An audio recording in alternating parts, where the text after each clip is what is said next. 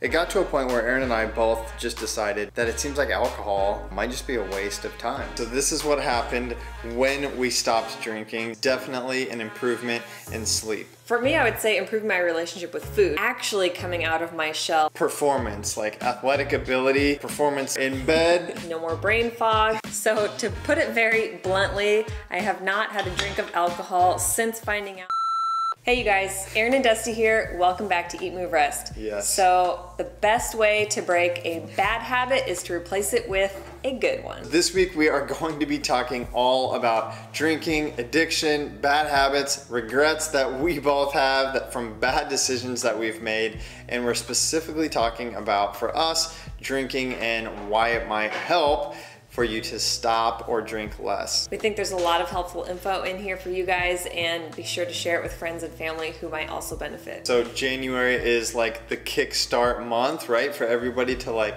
kickstart their health and their wellness journey. Last week we were promoting a ton of recipe books and like got so much good feedback. Even my mom was stoked about it. This is the vegan health and fitness bundle. Yep. 75 plus ebooks for only $50. They are completely new books and we're pumped to be a part of such a great group of influencers and inspiring health and wellness advocates. So if you're looking to improve your health, definitely jump on board. You get to own these books for a lifetime, so plenty of time to dig in. So alcoholism, addiction, recovery, it's all been very present in our close friend and family circle. In fact, yep. both of our younger brothers struggled, pretty much hitting rock bottom during what would have otherwise been the most joyful time of our lives right around our wedding. Yep. So we can share a little bit about that and also our own personal stories, even though neither of us consider ourselves addicts per se. Yep. I know we've both struggled with tendencies towards not just alcoholism, but binging and restricting, especially for me with food, if you've watched my vegan transformation story. I was recently listening, like I'm always listening to audiobooks, and my favorite books recently are by Russell Brand. So if you guys don't know Russell Brand, he's a comedian, movie star, and recovering addict. So everything from drugs, alcohol, sex, like you name it, he's like been down in the dumps of it. And his books are just amazing. And the more I listen to him, the more I reflect on my own life. And, and Erin and I together have kind of been reflecting back to our 20s and how we were borderline, you know, addicted to a lot of the things that we were doing in a very dangerous way. And I, I, a lot of times I look at myself now and I think those tendencies are still very much there. You know, we're never free from mm-hmm. these uh, this clutch these clutches of addiction or temptation or any of these things. And I so, think it holds true for so many things, even anxiety and stress yeah. and depression, which we've both dealt with in very real ways. It, totally. it doesn't ever just completely go away, you know, it's always lingering back there, and you have to really be on your toes every day, taking the utmost care of yourself to keep it at bay. Yeah. So, same holds true for what we're talking about today. So, we yeah. thought it'd be fun to, well, not fun, but helpful to discuss our personal experience, not as professionals, but just as your peers. Yeah. And also to talk about how we have overcome thus far and also sharing, you know, the extreme addiction stories in our lives and how they've managed to overcome. So definitely leave us some comments below. We know that Devon, Dusty's little brother, and my brother Ben would both love to hear from you guys as well. So totally. Let's, let's keep the conversation rolling. So my brother is about four and a half years younger than me. Um, and I think what tr- what triggered his um, somewhat downward spiral into alcoholism in his case was probably my parents, our parents' divorce. So, for whatever reason, my dad, who I would also call a functional alcoholic, I would say, um, basically left. He left us, left my mom, and started a new family. And legitimately um, have seen him very little ever since. So that was almost 14 years ago. Um, now, actually, maybe a little bit longer, which seems crazy. And so that was a super unfortunate event for us. You know, we were both in our teens, and my mom, of course, um, was devastated. And I think that's what maybe started um, the, the cycle of addiction and, and alcohol abuse for my little brother. I will say that I was not innocent myself. You know, being a freshman and sophomore and junior in college, I was a total wreck. You know, mm-hmm. my my wanting to have fun and go party was now coupled with this like deep, you know, anger towards my father and sadness um, for my mother and fear for myself and my own life. And I drank a lot, a lot, a lot, and did other drugs. As I started to like come out of that phase and get together with Erin, my little brother started to get really bad and nobody really knew it until um, I couldn't find him one day. I was calling and my mom was calling and nobody could find Devon. And so of course your mind starts racing. I was, I remember where I was. I was at the hardware store getting some stuff for a project and I, I talked to my other buddy who had um, been through a lot um, in, the, in the way of alcoholism and he said, you better call detox. I bet that's where he is. So that's what I did, and that's where Devon was. After a couple of trips to detox, um, the second one being right up close to Erin and my wedding for my little brother, we realized things had gotten really bad. So we got another phone call late at night from Devon, my brother, who had said, Hey, does somebody stole my car? Somebody crashed my car. And I don't know why, I, but I believed him. And, uh, you know, the, the officer I spoke to said, You're being manipulated by your brother, who's basically a drunk and just crashed his own car, which, of course, the policeman was right. Long story short, my little brother is possibly going to be spending our wedding day, he's my best man, in jail. And Erin's brother is not far off. It kind of started out the same for my brother and I. We are only 14 months apart, so super close growing up. Um, we butted heads a lot in high school and started to kind of combine forces and get along in mm-hmm. college. we lived in the same apartment, one floor apart, hung out with very similar friends, but we also had very separate lives as well. So there would be times where I would peer down and see him hanging out with his friends and, you know, just kind of being the big sister. And eventually I actually witnessed him doing some things that I wasn't quite sure what they were, but I knew they were highly illegal. Being that he was maintaining good grades and playing Division One football um, for the university, it really didn't seem like a fit for him to have a serious addiction problem. I began to see marks on his arms, all of the telltale signs. He just, you know, kind of diminished a little bit as far as he had always been a big, beefy, bulky guy um, who was very into his health and fitness. So to see all of that fall away, um, was very, very saddening and disheartening. And I was honestly to the point where I was just waiting every day for the call. And like Dusty said, we were at a time in our lives that was very exciting, um, being engaged and planning our wedding on our family's property. We were working day and night, super hard to get yep. everything prepared. Meanwhile, my brother is in and out of jail. There was a point where he actually met up with us for my birthday, which very much su surprised and shocked us. And he handed me a grip of cash for my birthday present, which I could only attribute to being drug money, so I said I didn't want it. The next day, we actually came to find out that he had been arrested. Um, wound up in a minimum security prison for what? How many years was it? Five, five About or seven. Five to five or seven years. Um, he was um, on good behavior. He was taking courses to reverse his issues both um, physically and mentally and emotionally. Long story short, like I said, he came out on the other side as a changed person. Um, he has been a joy to have back in our lives. His attitude is completely changed, yep. so upbeat. We get along. He has a son, Isaiah, who is Maxie's best friend. He's six years old, so there's an age gap, but they absolutely love spending time together. Uh, we're both completely mind blown at just like how much my brother transformed while he was in prison and now after the fact. And he continues to be a blessing to our family and a major source of inspiration.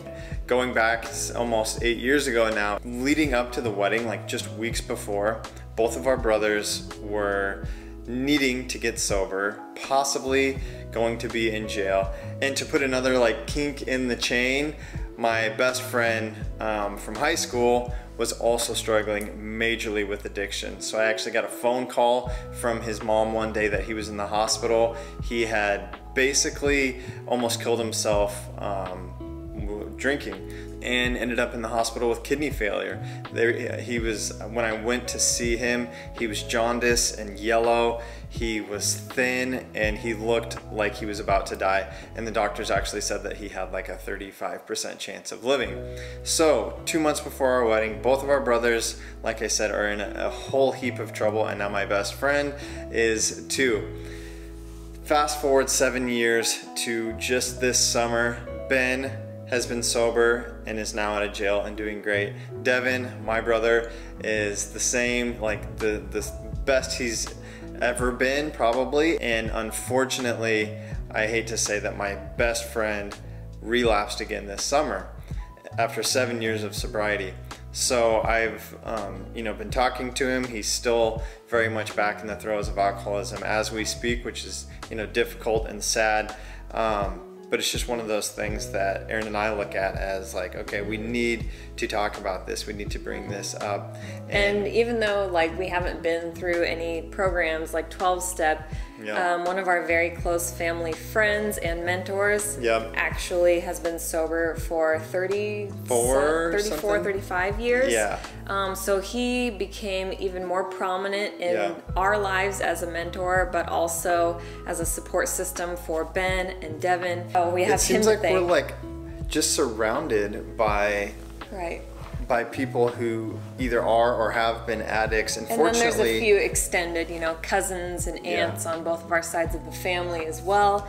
And um, even when we first got together, something that stood out to me is that your mom never drinks alcohol. Yeah. And to me at the time, like not being exposed to a serious addiction, that seemed very alluring to me and very intriguing but also kind of intimidating and threatening and made me uncomfortable because I knew for myself, like, wow, I wish I could be that person. I wish I could be brave enough or figure out how to do that. Yeah. And it was just interesting. Intriguing would be the word.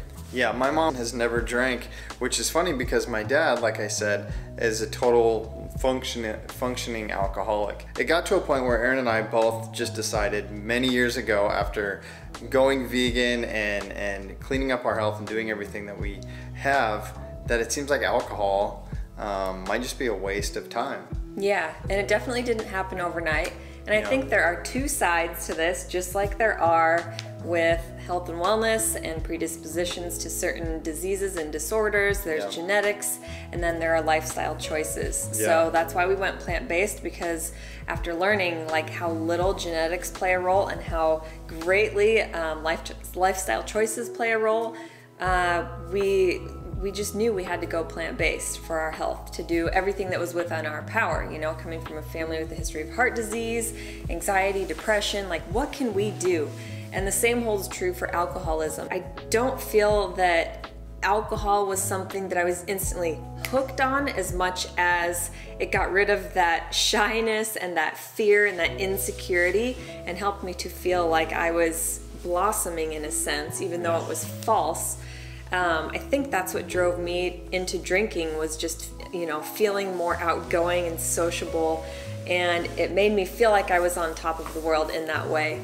Yeah. And the other reason is because I was always predisposed to almost OCD like tendencies, just being extremely hard on myself and being very nitpicky and obsessing yeah. as I got into health and wellness, obsessing over food. Yeah. And it got to a point where I would, during the week, deprive myself and then on the weekends in order to be less shy and more relaxed i would drink and at which point the deprivation turned into binging both drinking and then eating so yeah. it was a roller coaster of deprivation yeah. and binging and I think those OCD and shyness tendencies are what caused the alcohol to be part of my solution. Um, but really, the first thing I needed to fix was why am I so hard on myself? Why am I obsessing? Take the time to just get quiet and get to know yourself, journaling things out, surrounding yourself with people of wisdom like our mentor Joel, who I wish we would have been close with when we were in our college days. Alcohol for me feels like it is the the match that starts the forest fire. As soon as I got my dorm room in college, it was on like Donkey Kong. And it was like, okay, I'm gonna make up for all the lost time um, that I didn't get to party in high school because my mom was so super strict and I just started drinking like crazy. And of course, it was fun, and you think that you're finding yourself, um, but really you're not. You're totally losing yourself. So, like Erin just said, the drinking would lead to hangovers that caused extreme anxiety, which caused depression, which then caused me to feel like I needed to drink more. And it's just this vicious, vicious cycle of just despair. It gets to a point where it's just like you look around and everybody is really actually hurting. And it all comes back to, for me, drinking. I, I look back and I think, could all of these things been avoided and how? And if I look at my parents' marriage and I think alcohol, eliminate that, my parents might have a perfect marriage. I look back at all of the mistakes that I made, you know, hooking up with too many girls and going to stupid parties and doing stupid drugs. What does it come back, back down to? Drinking. And again, same thing. It's like, wow, if we could just somehow leave this one thing out of our lives, perhaps we could avoid more mishaps in the future and not just look better, but feel better and be better. So we've basically done that. So I think three things that really helped were setting healthy boundaries, Yep. accountability, and then also just plain logic. So Yeah. if we were to break those down, starting with the cut and dry, simple logic, logistics of things, like I just started to reason with myself the same way I was with healthy food and eating and and just the science and Yeah. just you know, one, two, three hours of partying and having a blast at a bar pales in comparison to the three or four days of hangover Yeah. and crumminess and fatigue that I was feeling after the fact. So it was just like, Not to mention the money you spend. Right. And the money you spend on the alcohol alone, and then the food that you buy when you're out, and it's just crazy. And, Mm-hmm. and the fact that you are in fact impairing yourself. Oh, man. I'm like, for being so hyper alert and liking to be in control of Yeah. my health and my mind and my mood and my choices, why would I impair myself? And why am I feeling impaired? Because I'm actually poisoning my cells. That makes no sense, especially on a plant based diet. right. So I think for me, the, the number one recommendation would be to examine the relationships in your life. I'm like a relationship guy. Like I can't meet someone without feeling like I have to like dump into them. Looking back, you know, I hear from my buddies every once in a while after the accident. I had text messages from all of my old friends, and I hate to admit it, many of them, many of those friends I haven't seen in like 10 years because they are still living the lifestyles that I had to get myself out of. You know, the drinking, the eating, the partying, the, the football games, the gambling, all of that stuff. Um, I had to completely separate myself from. I had to cut those relationships off because they just weren't healthy. And they say that you're the you're the product of the five people you're closest to. Totally. And that was the hardest and the easiest step to make because once I cut those relationships out of my life, you know, yeah, it meant moving home. I moved home with my mom to finish college, and that wasn't very exciting, um, even though I'm glad I did it. But it then you met me. right. It was the same for me. It was just setting healthy boundaries, saying like, if I don't go out, I won't see these people, and I won't be tempted to do these things. Yep. And I've always been kind of an introvert, anyways. So Yep. I don't think that leaving all of my friends, my party friends behind really hurt me all that much because I wasn't having deep, meaningful connection and conversations with them throughout the week, anyways. Right. So I became a little bit of a loner, which is something that I think drew Dusty and I into We each other. shared is- that. yeah. My mom, in hindsight, it was funny because she's like, everybody has to go through an incubation phase. Yeah. And after she said that, it gave me peace because I didn't feel so guilty for being such a loner and for going through a period of my life where I didn't have a whole big circle of friends to run around with or to hang on. Um, it was my incubation phase. And now I honestly feel like since starting Eat Move Rest, starting the YouTube channel, um, having a little bit of a story of hope to share Yeah. has been kind of the blooming or the coming out of the shell phase for Yeah. us.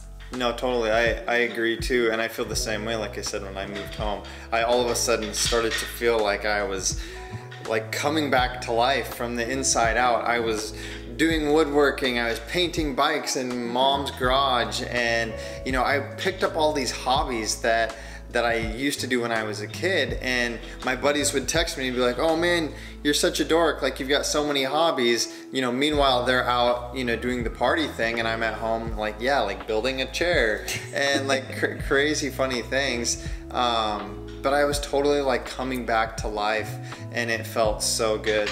We started connecting and forming real friendships Yeah. with real people who we ended up road tripping to see and visit even Yeah. in, on our recent california trip Yeah. people who were plant-based overcoming different health struggles emotional struggles and overcoming some addiction struggles as well Yeah. um, also finding a lot of friends of faith so it's just weird to find people who are just like you Yeah, when you're not even searching. It's like you're just attracting it's that like by magnetism. yeah. Like the more we learn, the more I realize that like those energy fields are a real thing, and Yeah. like your vibe attracts your tribe. You Yeah. know, we weren't searching and digging anymore in the wrong places. It's like they're just coming to you. right negative energy works in the same way it's like mm-hmm. either energy is contagious right just like bad food makes you crave more bad food healthy food makes you crave more healthy food relationships are the same so as soon as i cut myself off from those negative relationships and erin and i got together and started working on this this this channel and our and our you know eat move rest um, passion for health and wellness like erin just said we have connected now. Folks have come on our Costa Rica retreats who we've met up with on our road trips.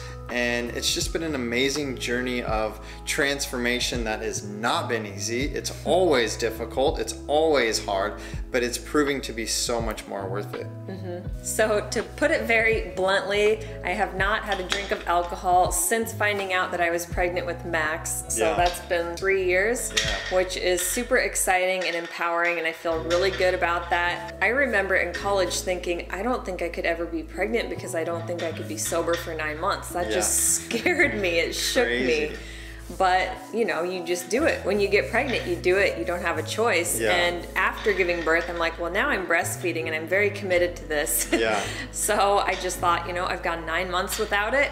I feel better for it, even though I was already at a place where we were having maybe one glass of red wine a week. Yep. We had slowly tapered off. Yeah, so for me, I have not been 100% sober. I will admit to occasionally having a beer with Erin's dad during a football game, or if we're out in the yard uh, working in the summer and, and Erin's mom brings Mike and I a beer, like I'll, I'll have a beer once in a while, and and that for me is totally fine. Like I, I don't struggle with that, and it usually is never more than one. Something that cracks me up is last pregnancy, I was like, an ice cold beer just sounds good. And that's, that was very weird for me at that time, not drinking beer anymore. So this is what happened when we stopped drinking. This is not premeditated. These are just the things that are coming to mind. For me, number one is definitely an improvement in sleep. Like every time I drank, I slept terrible. Now I sleep great, and it's like so worth it to not drink, not even one. For me, I would say improving my relationship with food. So, not so much of the roller coaster of binging and depriving anymore. It's more of a steady, stable ride. Another exciting thing is actually coming out of my shell and feeling super authentic and living my life in integrity. I feel like it's uncomfortable to do it this way, but it feels so much better when I can get up in front of a group of people or Yeah. be around new friends and just push myself out of my comfort zone and be excited and feel good about myself for it. Yeah, it's like real confidence, Mm-hmm. and it's like what so many people, well, we all lack, but it's like It's the only real. way to actually improve or grow that muscle is to actually work on it. Totally. So for me, performance, like athletic ability, like performance everywhere in bed, performance in the gym, performance on a run. Like I just feel so much better. I feel more energetic. No joke, I can lift more and do more pull ups and push ups than I could 10 years ago in my 20s. It seems kind of obvious, but no more hangovers. Yes. And I think the biggest thing for me is no more brain fog and extreme anxiety. So, practically speaking, how are you supposed to go out and be social then? Like, honestly, we always make sure we have a drink in our hands if we're gonna go out to a restaurant or a bar with friends. So, it's usually a club soda with lime. Yep. It's a small drink that looks like a cocktail. It's got the tiny straw in it.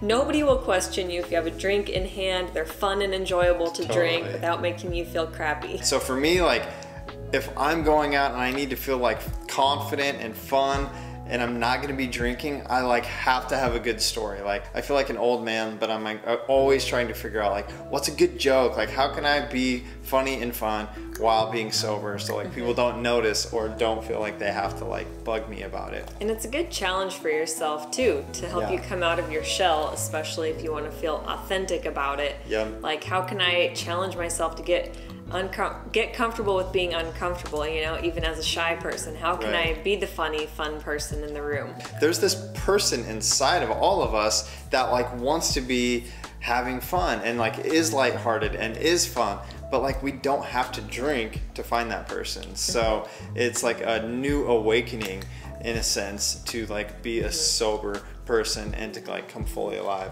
Something else I think is to go slow and steady at it, kind Yeah. of like we did with going plant based. This is assuming that you don't have a full blown alcohol addiction. If you're just, you know, feeling uncomfortable about having it in your life and you don't want it anymore, Yeah. slow and steady always wins the race. Most of us, in fact, fall when we try to go cold turkey. So, Yeah. you know, we just eliminated foods one by one, and the same with alcohol. We went Yeah. from no more heavy wheat beers, just the lightest of light beers, to finally just red wine here and there at a wedding, and then in the summertime, our rose. And it even got to the point where we would take our spicy fizzy water and water down our rose. yeah now we're just watering it down it's like let's just eliminate it completely Setting those healthy boundaries can happen slowly, so slowly that you don't even realize they're happening. Yep. And on that same token, you know, you begin to attract new people into your life. It's weird when you make different life choices. Yep. And you become this better person. You know, the right people just tend to come into your life, like I was saying earlier. Totally. And all of a sudden you become like the sober bunch at the bar. Like now when we all go out to have dinner, it's like we are all having the most fun and all laughing and like we're the only table that's not drinking and like it's so it's just cool the way like we've transformed our lives and our health and like